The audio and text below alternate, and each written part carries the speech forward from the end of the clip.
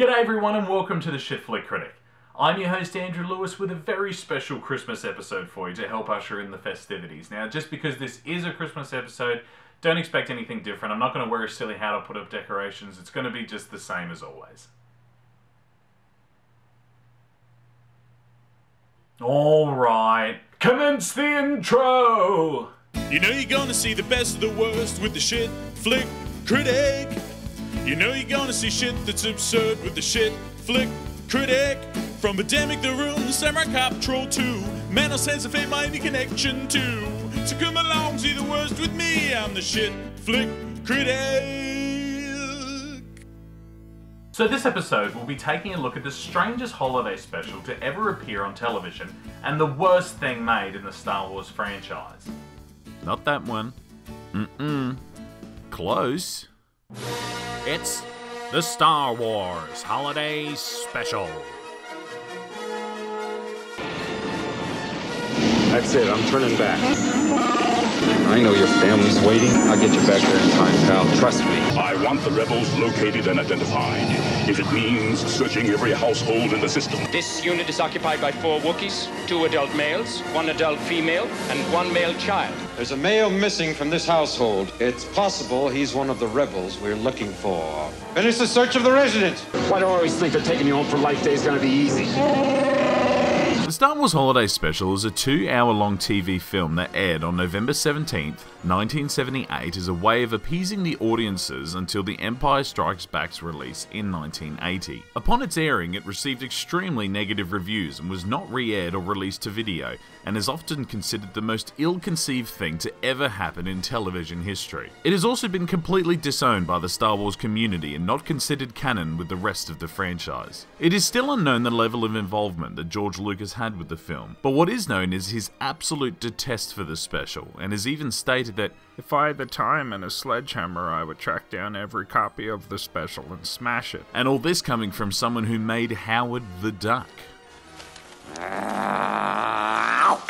Even though George Lucas claims he had very little to do with the actual production of the special and personally disowns it, Pat Maloney, the actress who plays Lumpy, has said that Lucas was sent dailies of each day's filming for approval. Lucas also used the same treehouse design for the Wookiee's house that we used in the special in Revenge of the Sith. In May of 1988, there was a copyright transfer giving Lucasfilm sole rights and ownership of the holiday special, with the assumption that the masters would be kept under lock and key and not distributed ever again. The only person in possession of an official copy of the Star Wars holiday special is Carrie Fisher, who only watches it when she feels like guests at her home have outstayed their welcome. The original Star Wars was released in 1977 to sell out audiences due to its state of the art visual effects, heart pounding action, and contemporary storytelling. Overall, Star Wars was able to make almost $800 million worldwide.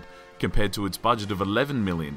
But the real money was made in. Merchandising, merchandising. Given that George Lucas was able to retain all merchandising rights, a buttload of money was made through merchandising. In 1978, Lucas began to worry that the film was starting to fade from the public's conscious while The Empire Strikes Back was being produced, and that merchandising sales would drop as a result. In the past, when Star Wars themed variety segments were featured on The Richard Pryor Show and Donnie and Marie, it resulted in a spike of ticket sales in theatres across America. It was then agreed that the most effective way to have people remember the Star Wars brand in between movies and to buy Star Wars toys for the holiday season was to air a feature length holiday special variety show. Variety shows have been a staple of television since the 40s, but slowly began to go out of favour in the late 70s due to changing audiences and their extreme cringiness. No show was more cringy than the Brady Bunch Variety Hour. Yankee Doodle, keep it up. Yankee Doodle, keep it up. Keep it up,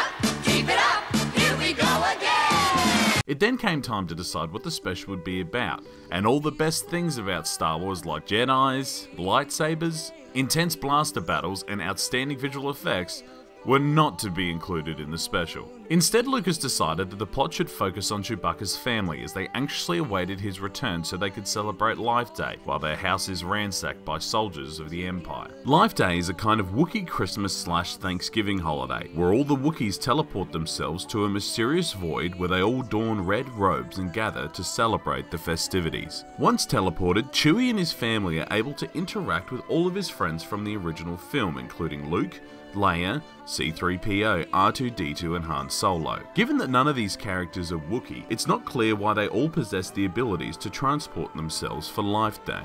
What makes it even more confusing is that the entire special is centered around the fact that Chewbacca can't get home for Life Day, and that his family might have to celebrate it without him. When he does finally return home and they teleport, they meet up with Han Solo anyway. So why couldn't Chewie have just teleported with Han to see his family from wherever they were, saving them both the trouble of making the perilous journey back to Kashyyyk? The story was primarily Lucas's idea and the last thing he contributed towards the special before devoting all of his time to Empire Strikes Back, and insisted that the storyline focus on the family of Wookiees. The family includes Chewbacca's wife Malla, his father Itchy, and his son Scratchy, I mean his son Lumpy. The issue with having a storyline that centers around a family of Wookiees is that none of them can speak any discernible language and spend the special communicating exclusively in moans with no subtitles. Mm-hmm. Mm-hmm. Mm-hmm.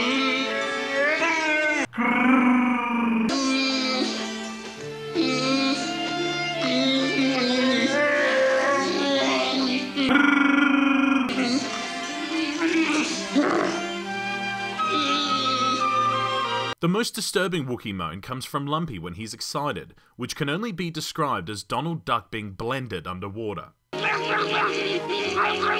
sure grown, huh? I think his voice has changed. Christ, I hope not. The lack of dialogue from the Wookiees was even pointed out to Lucas by writer Bruce Vilanch, who said the whole thing would turn into one episode of Lassie. What is it, girl? Is it Jeff? You, you don't know where he is?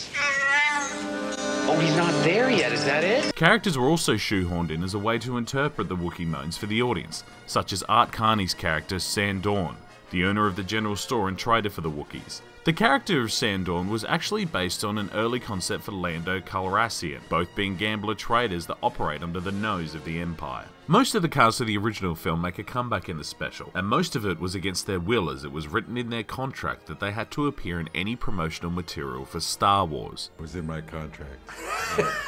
there was no way, no known way to get out of it. Harrison Ford is clearly the most disenthused by the whole event, and has been very open about how little he enjoyed making the special and how hard it's been to erase the whole thing from his memory. You're like family to me. In one cutaway at the end of the special, he can't even pretend to give a shit about what's going on around him. Mark Hamill reprises his role as Luke Skywalker for the special with an exorbitant amount of makeup on for a pilot about to go and fight the Empire.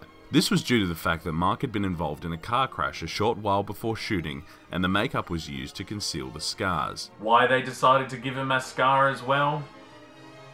Carrie Fisher has claimed that she has absolutely no recollection of taking part in the special. Whether or not this has anything to do with her substance abuse at the time is unclear, although she does seem to be pretty spaced out for most of the film. I don't know whether this is intentional or not, but Princess Leia seems pretty bitchy in general. By either being continually pissed off at C3PO for constantly interpreting the Wookiee noises for her, She's expressing her warmth towards the trader. She says there has been no contact. Yes, I think I understand her message. And then for there not being enough English speakers and too many Wookiees in the house. Could you do me a favor and send either Chewbacca or Han Solo to the screen, please? Yeah, sure, I'll just get him for you now. Could he come to the screen, please? Alright, hold your fucking horses, I'm getting them. No wonder she didn't give Chewbacca a medal. Carrie Fisher's also said that the only reason she took part in the special in the first place was so she could sing a song at the end, which she does moderately well.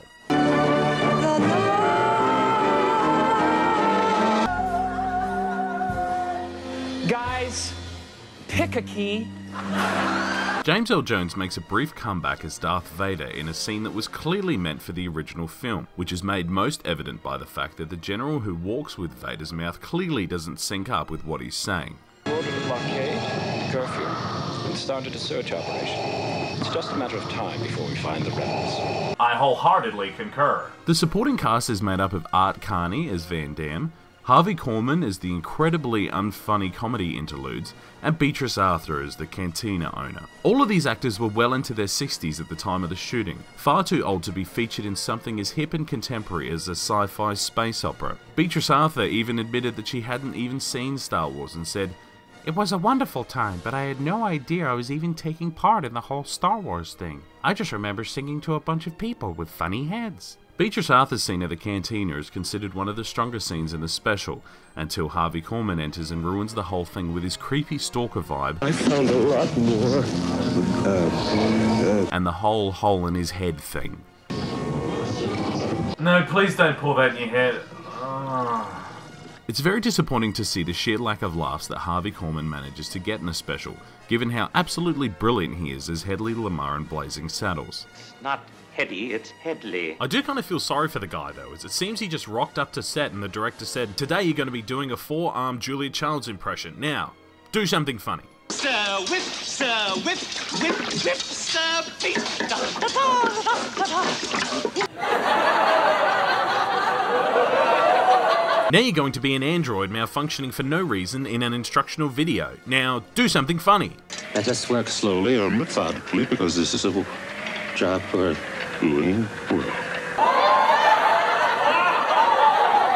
Look at that, nothing. Stony face, and I love a giggle, me. I love a laugh, don't I? A lot of the variety elements fell into place to escape the relentless moaning from the Wookiee family. These variety segments include a bizarre holographic circus act, played on a pedestal similar to the one that dejarik is played on in the original film, an incredibly boring 70s rock ballad by the band Jefferson Starship, some of whose members would go on to form the band Starship and release the most annoying fucking song of all time.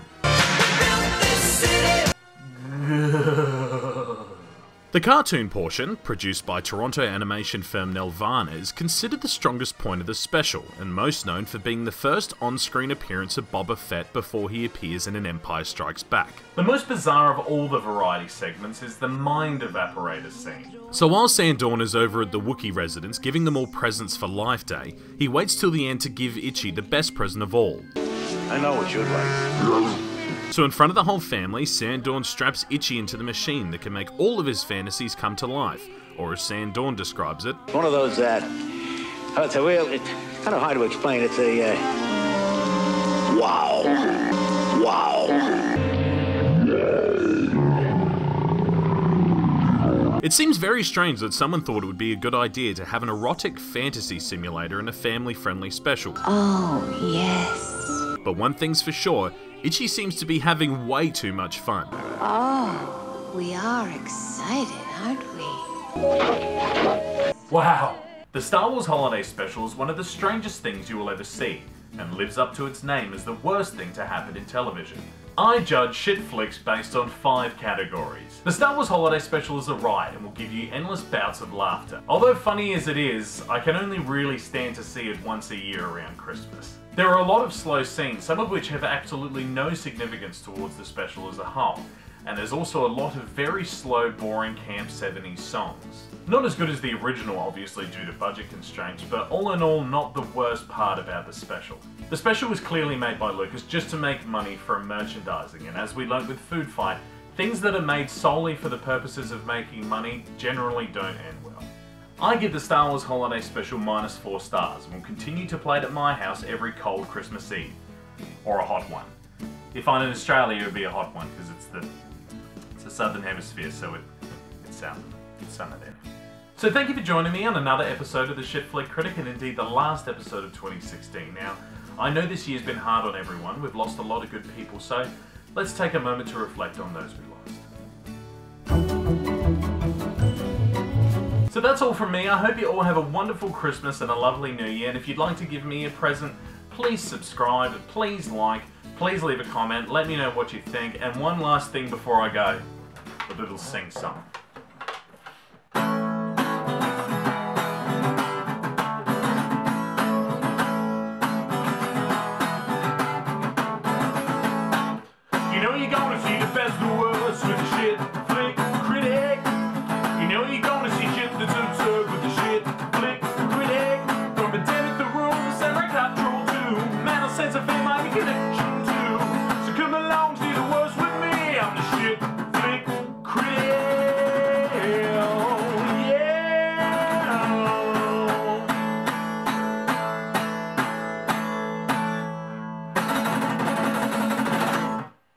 Okay, so thank you very much, and here we go. Let's try this. So, um, we're gonna have The Room, Samurai Cop, Birdemic, Manos Hands of Fate,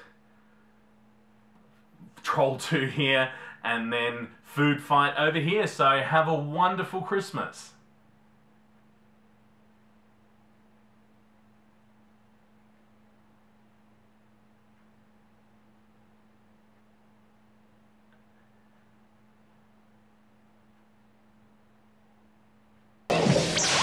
No! R2! What are you doing? Oh, watch that, will you? R2D2. You cunt.